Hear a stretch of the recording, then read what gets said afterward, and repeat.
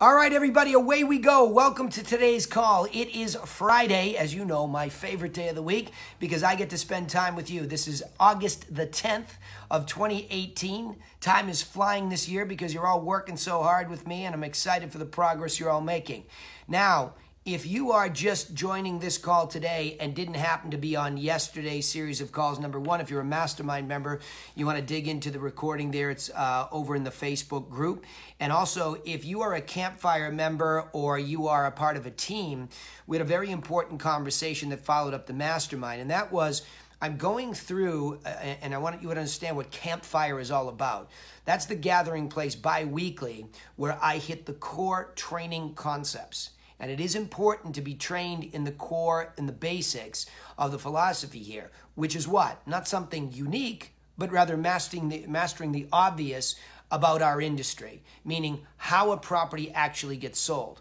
We call that a seller course how a buyer goes through the pr- process. We call that a buyer process, right? Or course. And then the agent business. This is what we're working on here on all of these phone calls. So I want you to understand it's a very clear philosophy that I'm trying to share that's core and basic.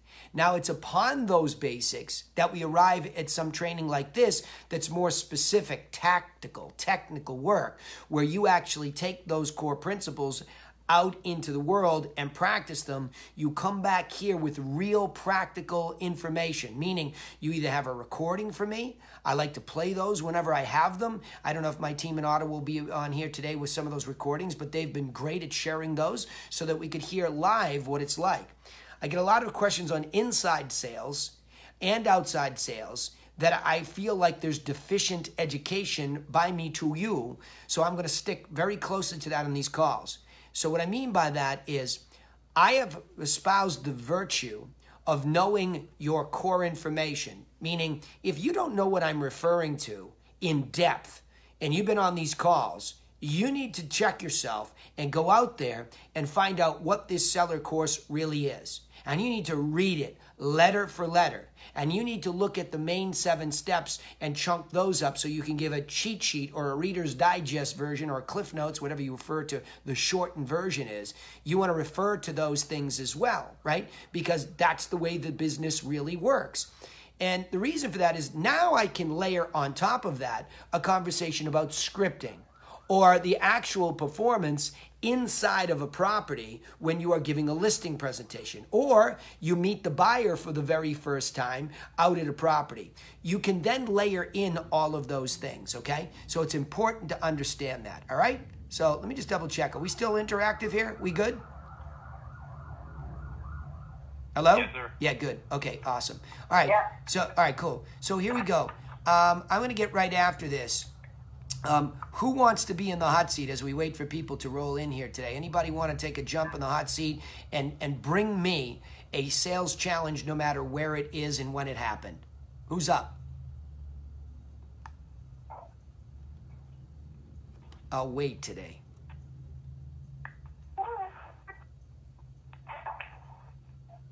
I'll make you. Dan kind of Yeah. got one, but Yeah. I think it, it's pretty.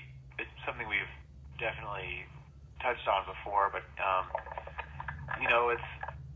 I think there are probably some other people doing ISA work in here who have kind of been tasked with kind of cleaning a database, and and it's kind of finding that line between you know, do I is this lead garbage or do I pursue it further? And I think I've got a pretty good um, kind of just feel for you know when somebody is a waste of time and when somebody potentially is not a waste of time. Um, and I and I get there by just asking direct questions. Hey, and what one line that I use that I think I heard from you or possibly one of the other mastermind members was, you know, hey, you know, I don't want to bug you too much, um, you know, but I do want to be there for you, you know, when you need our help. Right. When's the best time for me to follow up with you? Or are you realistically going to be purchasing or selling a home within the next year or two? And if the answer to that is a flat no, I'm cutting that person loose. Okay. Um, but if they give me kind of a maybe, or if they even vacillated on it a little bit, you know, I'll keep them on and continue and continue like a minimal kind of level of follow up for somebody like that. Yeah. So, so are you asking me? Do I think that's a standard? Let me let me jump in there. I think that uh, number well, one. standards are probably hard to define there, but go ahead. Yeah. No, no, for sure. I have said all along that's the line. I think that's pivotal, is because we're, we're always overtrained to be too aggressive. And so, you, you know, it, it's always this scripting. Like, like to me, what never, and I'm just speaking for myself, okay? I'm not disparaging anybody. I'm just saying, for me, I've always felt that I was there to serve, right? I was there to help. I mean, look, there's been times when I've been plenty transactional and saw people, you know, as the next opportunity. There's no doubt, but my heart was always in helping them. So, you know, you, you're always balancing those things. So the reason for the line is, so many people are fear are in fear. I just cut a new podcast that'll come out in the next two series, and that was about what we talked about yesterday was managing that fear right? And so, in a sales context, taking that fear over here, what are we afraid of the most, Patrick, would you say? I mean, if you were just going to say, when I pick up that phone, and because I'm going to get to why I gave that advice on saying that line, why these certain scripted lines matter. So, so tell me what you would be afraid of when you pick up that phone. What's the worst thing that can happen? okay. The worst possible thing that can happen is somebody can just uh, chew you out. Okay. And you know, and for I for mean, what? The worst right. thing that can happen is, some, is to feel very bothered and feel super upset that you had the audacity to um, interject into their own personal time. Okay. Or bother them at work, or bother them during lunch. Um, those, I mean, but you know what? That's the good news. Right. That that's the worst thing that can happen. Because in my world, that's not that bad of a thing Yeah. that can happen. However, Uh, however, so how, however, it is rejection. Okay, so Yes, as sir. much as Yeah. theoretically speaking, we can sit here and say, look, um, that's the worst thing, and we can all sit here as a training group and say that's the worst thing that can happen. You know, um, you know, so get over it. We can say those things to each other, but I'm realizing more and more and more that's not a fair thing to say to people because the actual human event of that moment is painful. And It's you know what? Like Yep. thinking about it too, you know, let's just say you're starting up like a two-hour block of calls, and like the first person chews you out, and you make another call, and then let's just say the second person chews you out. I could absolutely be see getting deflated by being like, Jesus, you know, like. Uh, you, you know, you could it, if you start getting pounded down by it, I could see it very much being like a heavy burden to carry. You, hey guys, we have live mics here. Just remember that, please. So if you can make sure you you um, block up your mic there um, in the background, that'd be awesome. So so yeah, well, look, I, I think it's telling, you know, that that you feel that way. I think also when Laura was coming back to do the job of inside sales after having done it for a long time, she said she didn't want the job back. And, and I was talking to Eddie Wynn this week about you know that concept and that that fear or overwhelm of having to get back on the phone and go there. So what I said to him is the same I'd say to everybody. Let's just change the way that we see this event. Okay. So if we change the way we see the event, I think we can train for it better and that it's not so painful. See, the reason we see the pain of that rejection, I believe, is because we start at the wrong level. We start with the script first, right? That's the that's the thing that we do. So we, we lean in and we say, look, I'm just going to start off, and can you train me on the script, the universal callback script? And we- we're having this conversation with Sarah Corey and Tarek and Steve up in Ottawa this week. And, and Tarek asked me, well, don't you believe in a universal callback script anymore? Well, I said, well, in the beginning, to deal with that challenge of interrupting somebody's life when you have no idea what their immediate in that moment context is, yes. There's no doubt about it, Pat. So when I arrive at that moment, I recognize I might have gotten the guy or gal on the phone who just got bad news, who got yelled at by their boss, whose kid just caused them a problem. All of the things, let's say it's 50 50 chances. It's like rolling the dice. I'm going to get somebody in a good mood or a bad mood. Okay? But if I arrive there, and I used that analogy the other day, imagine that you and I are the doctors and nurses of the real estate world. We don't know coming through that emergency room door how bad the situation will be. We could have an incorrigible um, client, quote unquote, coming through the door, eh, bursting through. And they could be yelling and screaming, ranting and raving. And we know so desperately as the doctors and nurses that we can help them. We can triage that moment, perhaps save their real estate life, but yet they continue to reject it. That can be frustrating. But you, you have to embrace that. You have to lean into that and say, well, I should have expected that there would be moments like this that I would have to have unbelievable patience beyond what I believe I'm capable of and unbelievable perseverance beyond what I'm capable of. Until I am certain that I tried everything in that moment, and remember, this is only a phone call in this context, I tried everything in that moment to help them. And no matter what I did, they eventually hung up on me. Well, that's not you then in that moment, right? You know that's not you because you were diligent to go all the way and then some to arrive at that moment. You got me? Oh yeah. So so now let's go back to scripting. I think scripting matters in that moment. Hey Patrick, it's Danny Griffin calling from Griffin Realty Group, and I'm calling you because you came into my website, because you asked me for a home evaluation, because your home expired. So that is a very, very important first beat, I think, all the time. I, I, don't think you can ever not go to that beat and give context. I think sometimes when people stutter through that, or some scripter, you know, script teachers tell you, hey, it, is this Danny? You know, and they, and they start to get into this more, this tricky way of engaging in conversation, I think that makes you relatively more nervous because now you're trying to remember this script. Whereas I think it's very normal to script out and keep yourself under control with, hey, here's who I am, here's where I'm from, I'm calling because, and because is a trigger word. So, because triggers, yeah. perhaps my guess is, or my evaluation of the word because and why it's powerful, is it insinuates that maybe something's in it for them, right? There's a reason. Yeah, and it's really, really hard to get mad at somebody who, you know, jumps on the phone. Correct. Explains exactly who they are and why they're calling, and then follows that immediately up with, and here's why I'm calling to help you. Yes. Or here, you know, I'm calling because I think I might be able to help you. Yes. And you know, if you can hit those three beats basically before they have a chance to react right. to the initial idea of oh crap, I'm talking to a stranger on the phone. Right. You know, you say, you know, you explain who you are, why you're calling, and here's how I can help you. Perfect.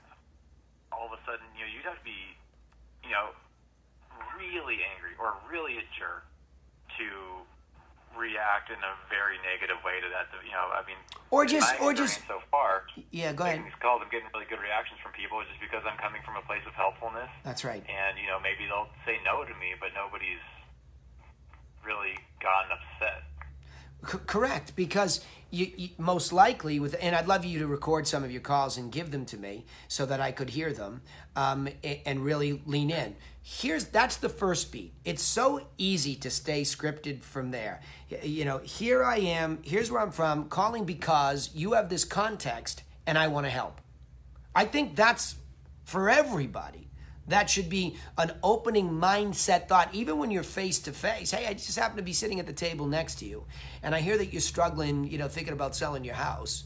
So I don't mean to interrupt you, but I've got something that if you don't mind giving me some contact info, I'd love to send you. I mean, you could use it in any context. It's that pattern interrupt where who doesn't welcome a helpful stranger? You ever walk down the street and someone with a big smile just holds the door for you um, or says something nice to you? It just changes everything you're feeling at that moment. It's extremely disarming. I mean, if somebody's really upset and really miserable, that might be a different context, but, but for the most part, it's not. So I think if you meet it as what a great opportunity for me to help. But I know that helping a lot of these people can be stressful because in the beginning they don't know me, then I have to deal with it. But let me go to the next beat with you since we're on a roll here, okay? I think the next beat is very challenging because in the concept of this quote unquote universal callback script, that concept is that I think what's universal about it, which I'm a huge fan of, as you know, is a strategy and a structure and a professional way to go about it. right? So, so thinking about the home seller course or structure of the help, home buyer course, or if I'm recruiting on that phone call, an agent course, I have that core foundation behind me of how I'm actually going to help you if you'll let me. I have these three core strategies, and depending who you are, I'm so excited to deliver them to you. But how do I get from that reactionary moment after the intro, which most likely, because we're foreign to them, is a little bit of a rejection or a standoffishness at, at its least, right? So, in its least mode, Pat, they're going to be standoffish, right? In its extreme mode. Yeah, I mean, when you go yep. to uh, any store and a sales associate comes up to you, you know, you, I think all of us have a slight moment of, eh, kind of leave me alone. I'm, I'm shopping on, you know, I'm, I'm doing my thing here. Exactly, you know, but I'll, if you I'll know what I need to. Exactly, but if you've ever walked into something like a Nordstrom's, where the culture revolves similarly around this discussion here, where where they give with a sense of gratitude, they know that. Okay, you're already in the store. You're in the department that they're at, and they just want to acknowledge you with a smile. I'm not saying every Nordstrom salesperson that I've you know encountered has always been exactly like that, but pretty close. Pretty close. They're not going, they're going to read you first before they come rushing in with their agenda. Of course, we have an agenda. We're running a business, and the business is, is around helping buyers and sellers, right? There's no doubt about it. But, but quite frankly, why don't we approach a phone call or a live presentation similarly? Why are we always rushing? I believe it's because we feel insecure about our preparedness. I think that's what it is. Now, I think it's far easier to be fully prepared on seven steps of a selling process, six steps buying, seven plus the eight bonus section on agency. I think if we'll just more, do more studying of the universal way that buyers, sellers, and agents uh, need help. I think that gives you a level of security that at least, I'm not going to say it solves everything, Pat, but at least it clicks us up a level where we're contented that, that okay, look, I'm going into this conversation on the phone prepared, right? Whereas a script, it's sort of like it's a technique or a tactic to get a conversation going but it's not the security of the moment to say, I've got the goods to deliver. Does that make sense? Well, yeah. I mean, if you, I think it, having a script is great, but if if you have nothing um, that goes deeper than the script that you're using, it's like you're just you're walking a plank off of a ship. There you whenever, go. Because a conversation will will take a turn, or the person will say something you don't expect, and if you're not, you know, ready to engage, and you're just only ready to read through a script, you know, the rug's going to get pulled out from under you at some point, and you're going to be stuck. Uh, so it's hold on, hold on, hold on. I loved your analogy. Hold on, I loved your analogy, and I'm not letting that one go. Say that again about walking the plank. I've never heard a more powerful analogy. Say it again please? Well, if you're, yeah, so using uh, a call script uh, and, and depending on it solely for what you're going to say on a phone call is kind of like walking the plank because when you run out of script, you're going to run out of plank. And we all know what happens next. So um, I think it's important to, you know, just be ready to have a conversation with somebody and be ready for the unexpected even if even if you're a really new uh, inside salesperson with you know no with not a whole lot of real estate background, you have to be ready to say, oh, that's a great question, and um, I'm happy to get back to you uh, ASAP with an answer to that. I don't have the answer right now. You, you know, you got to be ready to say things like that because if you want to go straight script, it'll work sometimes, but it's not going to work every time. There's no doubt. And look, scripts still work to the extent that they you understand why you're doing that. Like where are you trying to arrive? This is always that north star. I mean ultimately the north star in my case is to create a happy past client. We call them happy griffins. That's the ultimate goal right? But but i but i think really what's even more important is that i want to really uh, have people understand pat that it's just a technique you know, language, trigger language, influential language, all that stuff, it's effective and it's a technique. But again, what I found when, when we were doing those recorded calls with the team in Ottawa, that, that I found the guys were disconnected from why they were doing this, right? I found them to be falling into and and what what happens when that's your orientation to the North Star, it's much more transactional and you've you stopped listening to the person on the other end of the line. And the irony is as you're listening to those people authentically, you hear more clearly what they need help with and you make your scripted adjustment. Because it's sort of like it, it, it's like a journey into the woods. In the introduction, it's clear, Pat, there's a path in the woods. But then you get to that next beat of their reaction, and the path gets a little bit more blurry, and the trees and the pine needles start to blend. And then ultimately, they take you way off into the poppy fields with Dorothy, and you better have that buoy for where you're at so you can bring everybody back to a place of structure, right? That's really important. And I think that's, if you saw this conversation going like that, then people that are so regimented about scripting would understand that, hey, prove me wrong. Send me all the conversations where you are able to maintain such a level of control, no matter what the circumstance on the other end, no matter what the personality, that you just marched in step every time. You're just not going to be able to do that. Because the variable on the other side is not they're not privy to the way they're supposed to behave according to you and your script right? So but let me come back to this.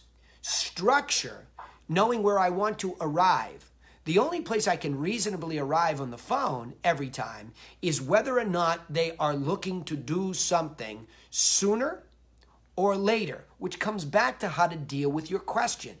Hey, some of my agents are struggling with deciding whether somebody is, well, I don't like to say worth it because what I'd like to say is whether they will give that agent, you, me, a chance going forward or not in a reasonable amount of time.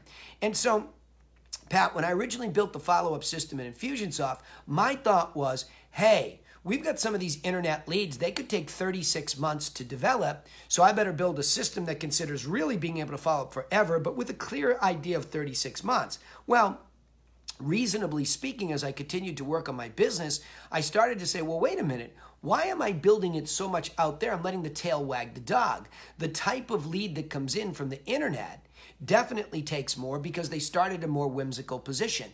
What if I could be better and faster at helping people who are closer to doing something.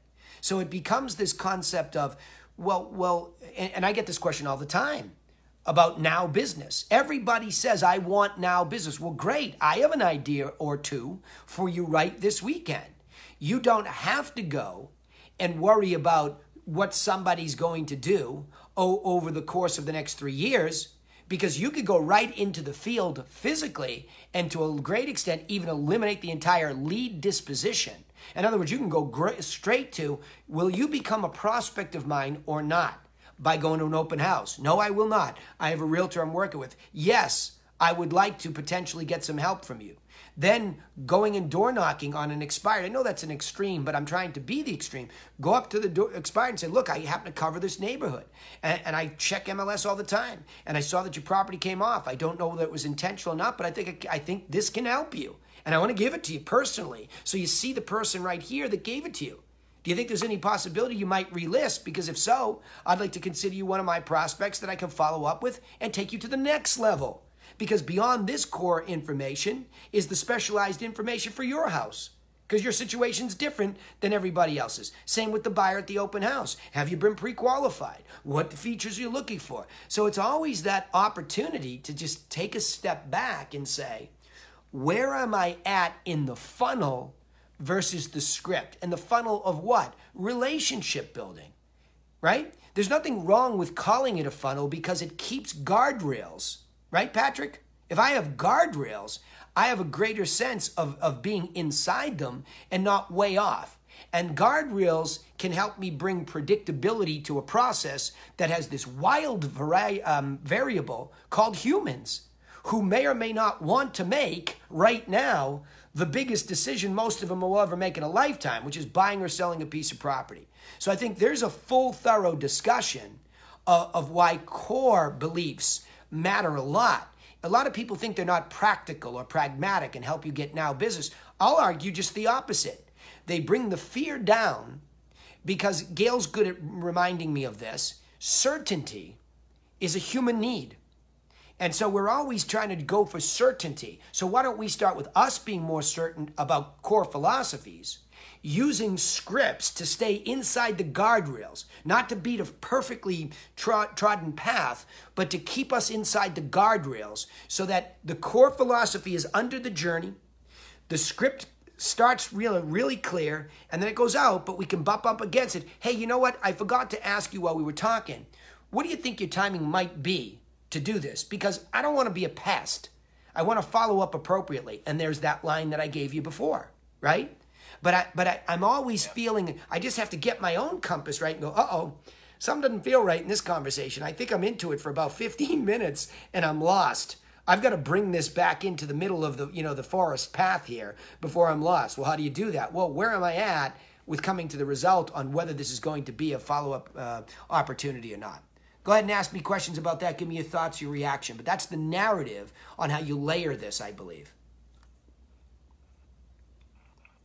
I mean, I uh, I completely agree. I think uh, a script is necessary. Uh, you know, even you know, a checklist. You know, what do I want to what's what why am I calling this person, and what information do I need to establish in order to have this be a successful call? Because I like what you said. You know, you know, you're in, you're having a conversation with with a buyer or seller, and before you know it, you're talking about their, you know, plans for traveling or their dog or who knows what, and you got to go. Oh, wait a minute. Okay, hold on.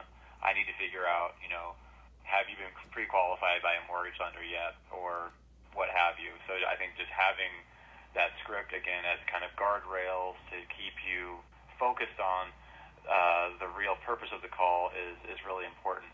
Um, but you have to be able to have a conversation with somebody that an authentic conversation um, from person to person, and not just a robotic conversation that um, that's going to sound unauthentic, and I think people I think people are very good at picking up on things like that naturally. Just I think if people can kind of just feel whether or not you're being genuine and for sure that you are coming from a, a place of helpfulness. There's no doubt about it. We all we, we, that's an onboard weapon of ours is our intuition to determine whether we're facing the you know the forces of good or evil, right? I mean, for sure. We right. that that's that's at the core of human beings. So why do we forget that in this moment? And I'm going to tell you why. I'm going to segue here. Leslie posted something, and I'm going to get to Tim's as well uh, online.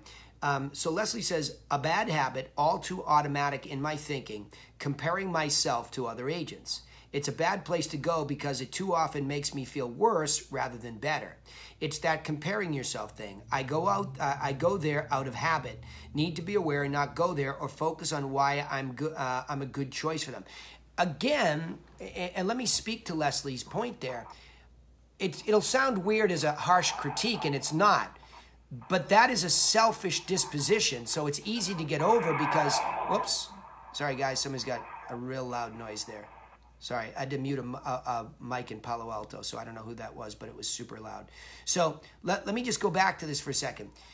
The most important thing that I see here, Leslie, as I look at this, is that's all about us. Okay, I remember getting that advice about public speaking. I forget how long ago it was. But you walk into a room, and most people have this unbelievable fear of public speaking which is definitely rooted in the fear I told you about, which is the fear of embarrassment, which I believe is rooted in the fear of not being perfectly prepared, which you can't do. So here we have this mess. So, how do we unravel that? If you study, okay, the discipline of studying core philosophies, which in this case I've made as simple as I could. I think I've got it at the fifth or sixth grade reading level, where you could read three core philosophies for buyers, sellers, and agents and you should be able to have at least an intelligent conversation around those strategies. If you need even easier, we've made infographics, which are cheat sheets that you can use. Say, geez, I'm, I'm still learning this, but This is the order of things. So that reliance on the information that is important to anybody selling, for an example, is what you are nothing more than the bearer of.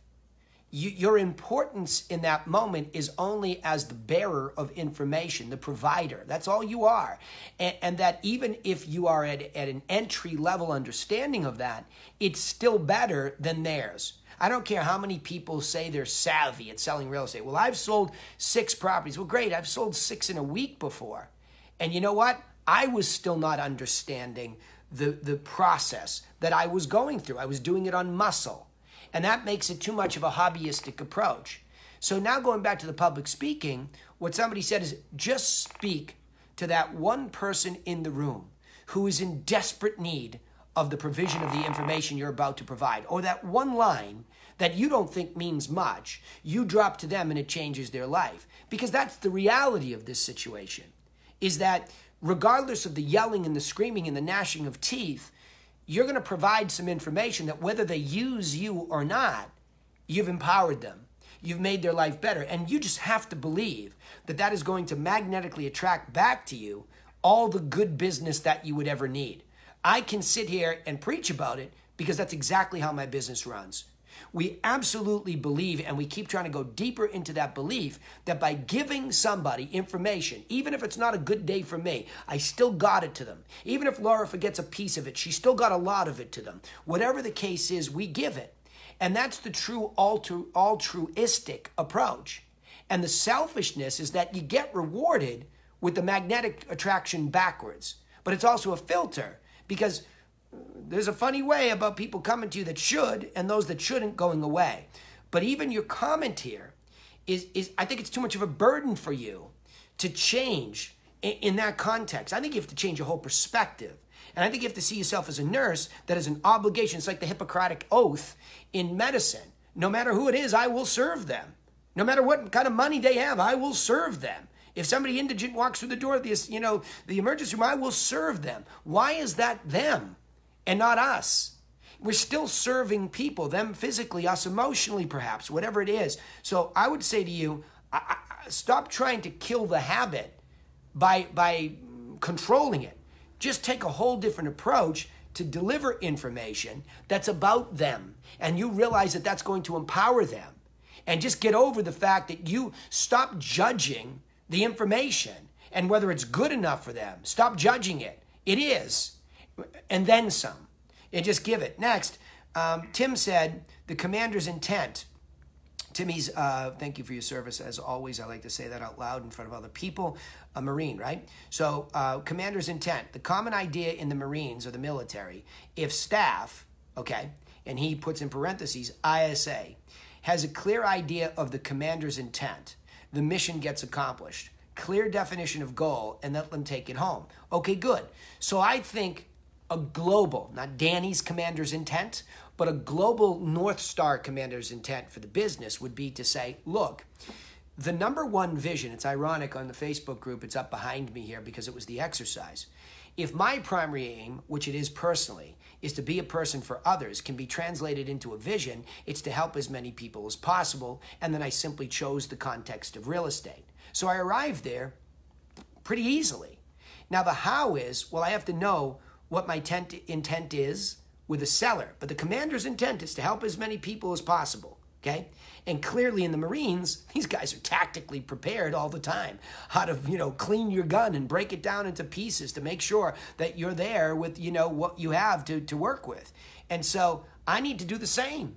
I need to know what machinery I'm going to use or information is replaced here for sellers, for buyers, for agents. So as the tactical person, to fulfill the helping as many people, you've got to get rooted in that core information, or, or, and I hate to call them weapons, but but the things that lift people up, and those are the core content pieces. And again, I just took my best pass at chunking up what universally happens, and said, why don't we just go help people master the obvious, which is not so obvious even to us? I think that's really really important. Okay, so Pat, you want to add to any uh, that between those two things?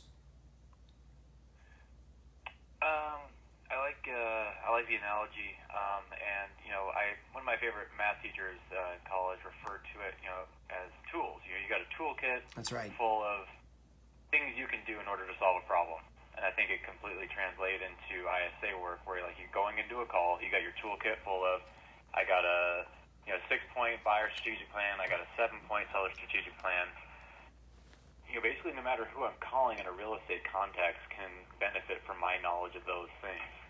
Um, so taking, you know, a half a day really to really internalize it, um, I think would be incredibly helpful for everybody on this call, or even just refreshing it for yourself. Um, you know, just fill up your tool bag with stuff that you can go to work with, and um, and go help people. Patrick, it's even more than that. It's like the gym. Stop going to the gym at 52 years old, and I'll tell you what happens pretty quickly, right? It's this conditioning thing. Voltaire and I were just talking about it. And, and that was always the intent of the campfire work. Because we, we talk very specifically in a sales context right here, right? But the sales context can go into scripting, it can go into objection handling, it can go down into expireds, physical, it can go in a lot of different directions. But underneath all of that are the tools, and they're the core foundational tools.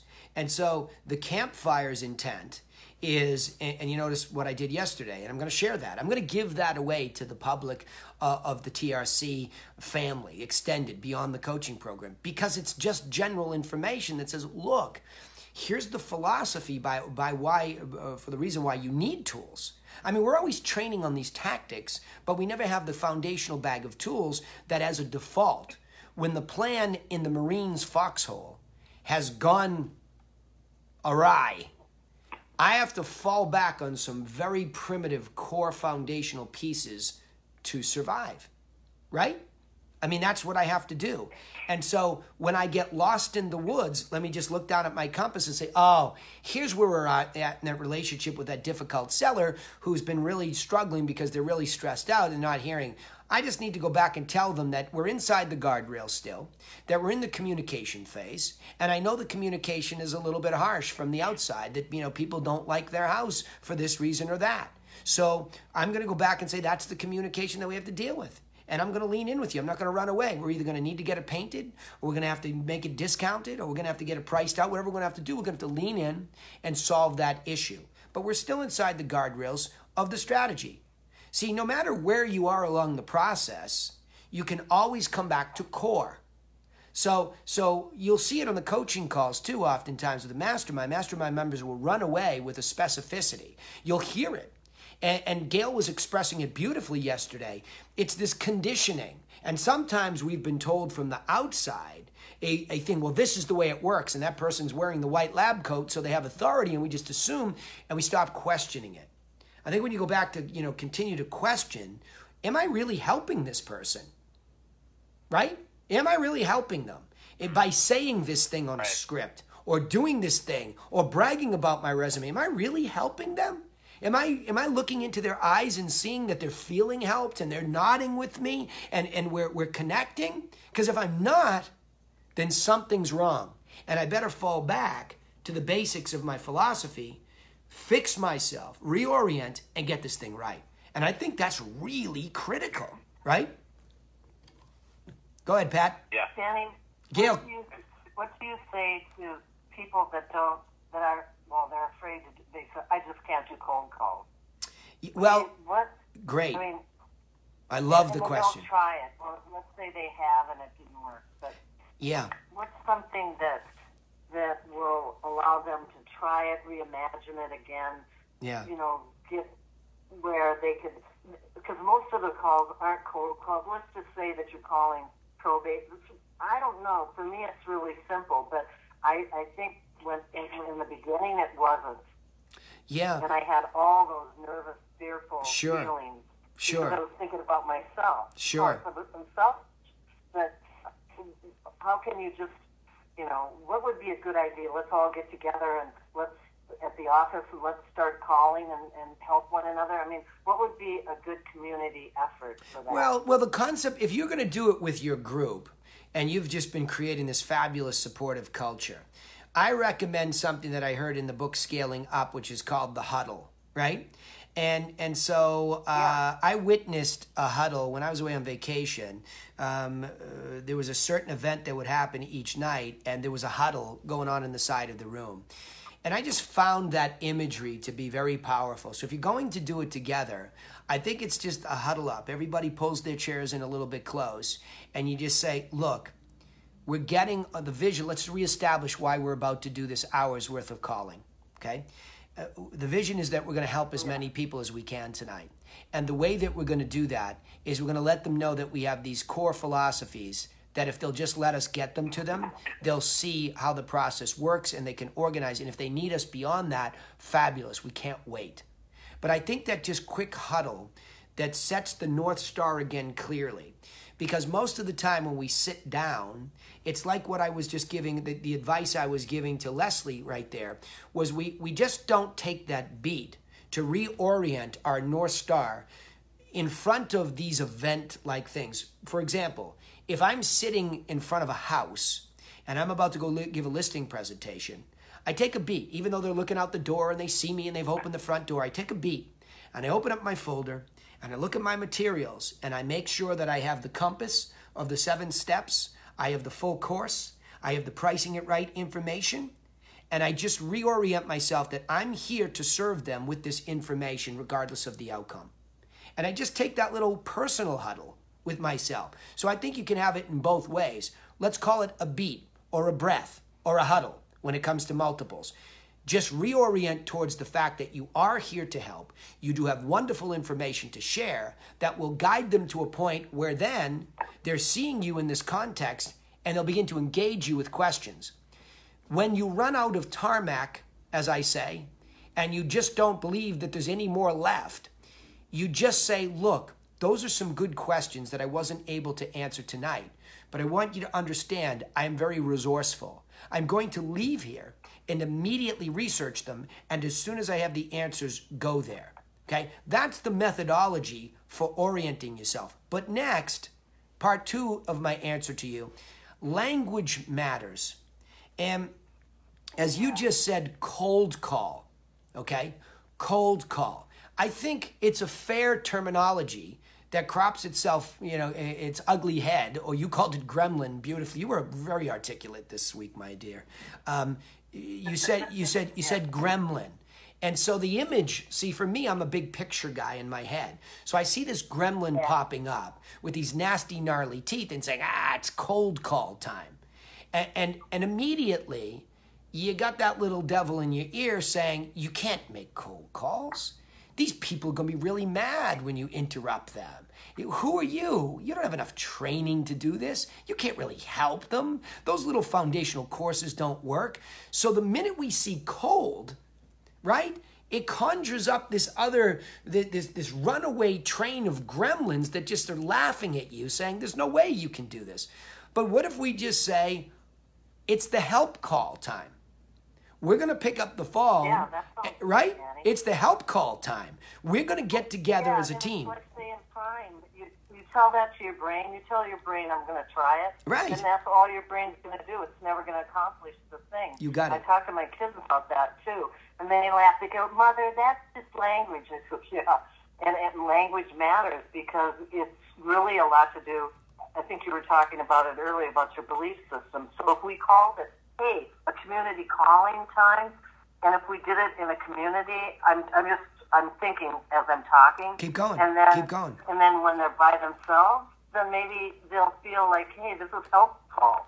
I'm helping. Well- I like that, Danny. I well, love that. Well, here's what I'll suggest. Number one, if you took a word, okay, uh, of you just took a, a, a list and you wrote down a lot of ugly words to you individually on one side. Just draw a line down the middle of the yellow paper. Put a lot of ugly words down. Read them aloud and slowly, and see how you feel right? See how you feel. Then, on the other side, write down a lot of positive words. Say them out loud and see how you feel. And now you'll have the proof that language matters because you will have changed your body chemistry instantly by the way that you think because of the psychosomatic connection. So, change the language. This is a huddle, and I liked what you just said. When it's the group, we're going to do our community service. See, we always think as realtors, our community service is to, to go, go down to the local boys and girls club and sponsor an event. And it still is that, but it begins much closer to home. Our community service, if you're a servant's mentality business or a business of significance, is to pick up the phone and do the community a service of educating them about how to buy and sell real estate. And if you want to go another layer, talk to them about how's the market, because that's what they all want to know anyway. So you've having these community service calls from which will birth potential relationships. Hey, you won't believe it. During community service tonight, I actually got somebody who wanted me to put them into MLS to get solds around them. I had somebody who was sick and tired of all these online apps and wanted me to put them into direct MLS. It's almost a pleasant surprise if we look at that, right? Yeah. Make sense? Think, um, yeah, I think people are stopped immediately by that word. Uh, I hear it so many times from people. No, I can't do cold calls. And I'm thinking, I hardly ever do cold calls. What I do is I'm calling, and I guess maybe when I'm calling my farm, but at the same time, I'm thinking, well, I'm calling my farm. They need my services. Don't want to say how's the market, and then I can engage in a conversation. It's not all about that appointment. It's all about building that relationship along the way, make the appointment, but understand you have to listen. So that script is important. Know your outcome, why you're there. Yep. Use your because. We all read Fanatical Prospecting. You got to have those conversations. I loved your uh, blog that you had the last week, and I actually talked about that at the staff meeting to keep a cohesiveness between our sales training campfire and our staff meeting. I'm guided by you as well. And so, and I tell everybody, you know, here you are you're getting trained way before you get your license, yeah. and now you can hit the ground running because we'll onboard you, and maybe just having a community. I'm just talking out loud again. Keep going. A community time where we all get together, whoever wants to do it, and just experience it, and then see if they like the experience or whether they think they can do the experience. But yeah, just, you've got to experience it, right? That's right, absolutely. Well, well, there's the thing. See, this is interesting you just made me think about how dangerous language is. I'm going to take it to another extreme. And, and you know, I, I thump uh, trying to help people with the truth in this industry, and that's been my endeavor ever since I first wore a coaching um, mantra. I, I, I just say this the, why are we always, and you said this again, yesterday was a big day for you in a lot of ways, um, but, but you said this you had accepted some certain doctrine that was taught to you not that there wasn't a lot of truth in that doctrine about how to do real estate, and not that you didn't get there, but, but a lot of people that have agenda, eh, and it's not their fault. They just have to keep it in a very narrow lane because the further they go out, the more they get confused, right? So when somebody has an agenda, there's nothing wrong with listening to it, but the ability to process it and then, as you said, experience it. What is my real experience in this with the other human being? So so again, I think the doctrine that's more generally what works is universal. I don't think we have to have this coaching program fight that one or this one.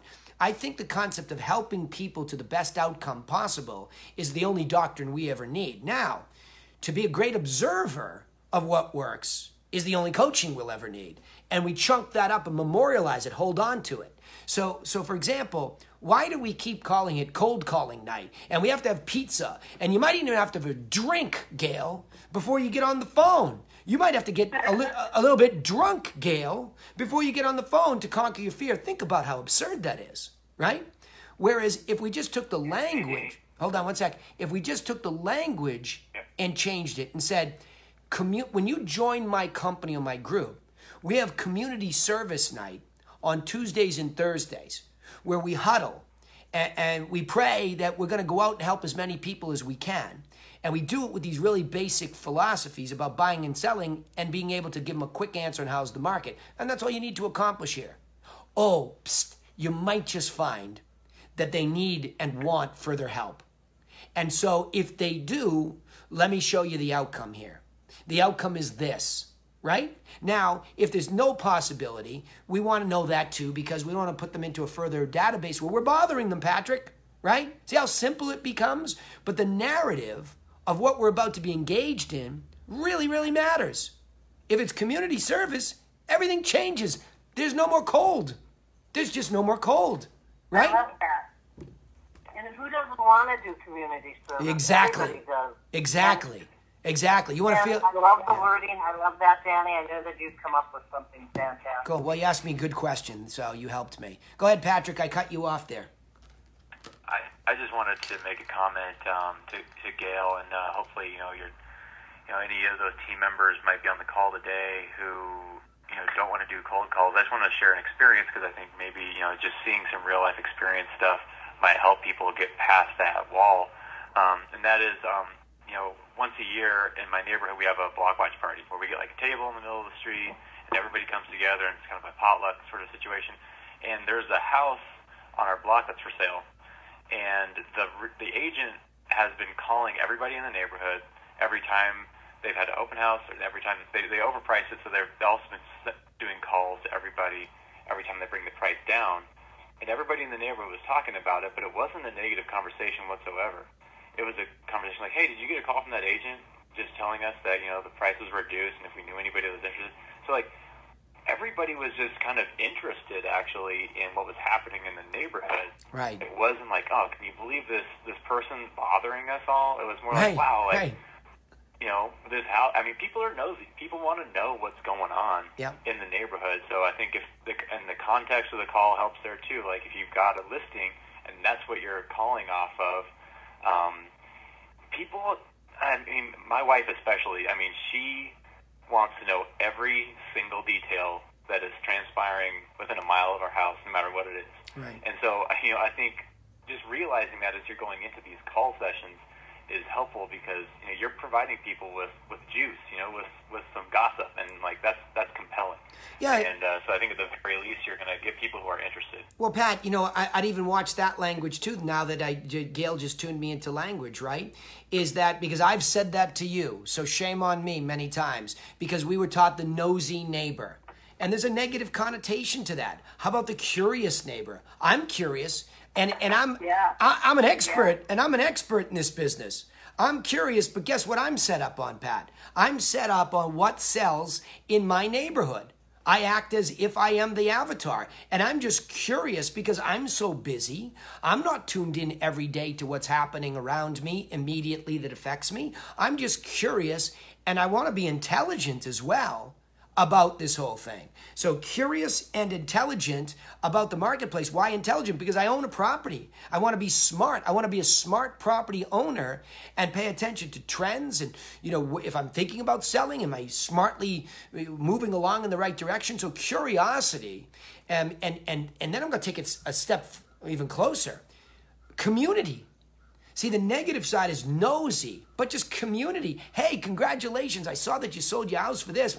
I'm so thankful. I want to hug you. I didn't know our houses were worth that much. So you can go from curiosity to community, and then you all can take that position of the community servant where you become the natural guy and there's no sale involved at all. This is the guy and his company and his group and his team. These are the people that are, are the good stewards of information and they keep us up to date. In fact, I can make an argument we're one of the most well versed subdivisions in Seattle because Can't 2 Group just keeps showing up. In Palo Alto, because Gail and this army of helpers, they just keep showing up and they keep telling us something. So you want to arrive at top of mind consciousness as somebody who's just been serving. There's no competition for that type of a person. There's just not. I mean, don't get Danny, me. you know yeah, what? go ahead. sounds- Danny, this sounds like a good script. Like calling up and saying, "Hi, I know that you're probably a curious neighbor, and that's why I'm calling you. You got to it. Let you know that down the street we have a listing." But that wording right there, you just made it. That is good language. Nobody's going to go, "Oh, not another person calling me about." They're going to go, "I'm curious. Of course, I'm curious. I want to know."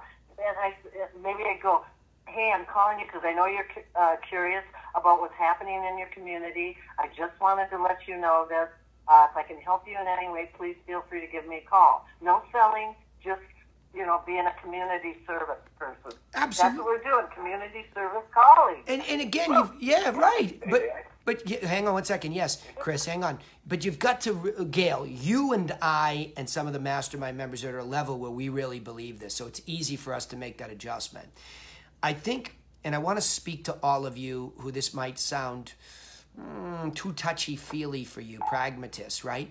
I'm telling you, it's gotten, it, it is touchy feely but it's what people want. It doesn't doesn't take away your opportunity to be the helper. Can you muscle people to do business with you by being aggressive in scripting? Yes. Because in lieu of nobody else being aggressive plenty of people will decide to use you. But i'll guarantee you you will burn out and your business won't have the sustainability that it could otherwise have. Use your aggressiveness to be the most aggressive community servant that there's ever been right be aggressively on the phone. Have all your team members doing it, but just change that paradigm. Go ahead, Chris. Yeah, no, I, I was just gonna gonna go on that. I love, you know, I, I love the call, and just I wanted to articulate to affirm for myself, get your feedback on, you know, as far as the whole notion of scripting. Yes. I think really what's more important as opposed to having a verbatim script, which is where things become very wooden it's just having an outline and a guide, and, and, and even even there, is, then it becomes very conversational. I think what you said about having a reason for calling anybody that you really internalize and believe in, I think that's everything, because that breaks down the barrier between I am sales guy and someone who's truly going to help. Is you, you've got a, a reason that you're reaching out. That's right. And it was either an action, it was either an action taken by them or valuable information you have to provide. And then, like you said, as far as uh, keeping in mind empathetically what their might, might be like is a reason for rejection, that, you know, you got to take that into account too. But as far as that, from there, I would even say, I mean, what do you think of going back to all of our scripts and just making it as simple as that? One, outline, timing. Two, motivation. Three, and, and not even in specific order, just having basically the subject matter, because then you can articulate it in yeah. vernacular. Look, look, look. I, Look, I, I think it's a great idea in the context of an infographic that sits in front of you. It's your buoy. And this is what I keep saying because I, I, right. I have to deal with, as a coach, the, the folks that have been taught and have success with scripts. Here's what I'm going to argue to them you keep presuming it's the script that's being successful, and it's not. It's you. You want me to prove that? Record your phone calls and find out how scripted you actually are. You think you're scripted, but you can't be because the human being, if you make enough of these phone calls, the human being takes you off into a personalized conversation. Now, you do whatever you do to get them back in and get your outcome. So I would make an argument that you still need your North Star. If I'm going to make some phone, community service phone calls to help people, I still want to know are you somebody who would like the next level of help because you're thinking about doing something inside of 12 to 24 months. Are you that person? Because if you are, before I let you go, we have other things. We have deeper levels of help. And, and if you're selling, one of those deeper levels is to personalize the general what to do information when you're selling. And the only way we could do that is to come see you and take the same course we're going to send you out, walk you through it in your individualized situation and also keep you up to date because you'll be curious between now and when you sell as to the trend of the market. And in a hyper local way, that's to see what sells immediately around you that's affecting you. So it doesn't just stop at the beginning. It's just this whole understanding of I see a potential relationship with you if you're interested. And I want to start it this way build the foundation, keep the foundation, and then just constantly tweak it based on you as an individual. See, all this concept, and I told you, know, you probably heard me yesterday with Tony, one of the dangers is that this concept of speed and efficiency is good. If you're going to make community service calls, I have no problem with the dialer. I have no problem with putting a whole bunch of names in the community there because if the goal, if the, the, the commandant's intent like Tim says, is to help as many people as uh, possible. Nothing wrong with a dialer. Throw them in and call and call and call and call. But the minute you get there, slow down for a minute, right? Slow down and be as authentic and genuine in that desire to serve them there because that will increase the probability that they trust you even incrementally a little bit more and will tell you their true intentions so that you actually save enormous amounts of time. You gain enormous amounts of efficiency to determine, going all the way back to the beginning of the call and what Pat said, is this really a potential continued relationship or not? But what's the worst case? in a community servant based mentality, what's the worst case that happens? You left a positive footprint in that person's life and on behalf of your brand. You can't find a better way to brand yourself than to leave a positive footprint. Hey, it looks like you know you really had no intention of selling or you didn't need any more of our services. We just appreciate you taking the time. We hope this is helpful. If you'd like to get on our newsletter, we do send out one that just gives a quick curiosity recap of what happened in the market. Comes out monthly, no obligation, it's free. I'd be happy to add you to that. Sure. No, no problem. Look it. If you can think of anybody that might need this kind of help, would you keep us in mind? Sure. Hey, thanks. And I'm done. There's no big heaviness to this whole thing. There's no fight. There's no depression at the end because I no matter how I arrive at the end of that phone call, Chris, I arrive with a positive outcome. I've branded and, and been just a good person today inside a community that matters, or the best result, I got the next step of the relationship and I can really demonstrate how much I know and care on how to do it, right? So I think the beats would be fine, is my summary. I think you could, an infographic that was there, right? Maybe we'll work on that next week. Maybe you and I'll, maybe you and I'll do it for the group. Maybe, maybe we do an infographic to work it out. Yeah, go ahead. Somebody wanted to say something. Go ahead.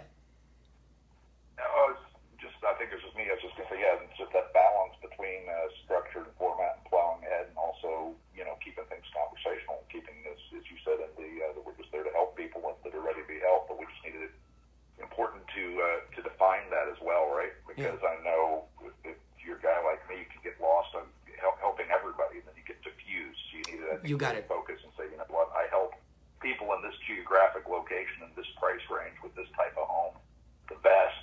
I'm going to focus on that. So if I have someone outside of my uh, area of expertise, I'm still going to help them, but maybe I help them the best by referring that out to someone who knows that territory better. There you go. Introduce, don't get Yeah. Yeah, there you go. There you go. And that's exactly the way to do this. And so I, I want to leave the call on that, but I want to make sure that I haven't had uh, anybody not get a question answered that they wanted to. This is a very important topic. That's the foundational. But does anybody have another specific thing they're struggling with that they need me for? Okay, hearing none, go practice this stuff. And Campfire um, was really hot. If you didn't see it, go back and watch it. And in two weeks, we're going to continue that work. But go out there and try to change the language. Be careful of the negative language we use anywhere in the way we think about the business. And I think that's probably the biggest takeaway I have today that I'm going to work on. All right? Enjoy your weekend. You're all the best. Thanks for the participation. See you soon. Thank you. You bet. My pleasure.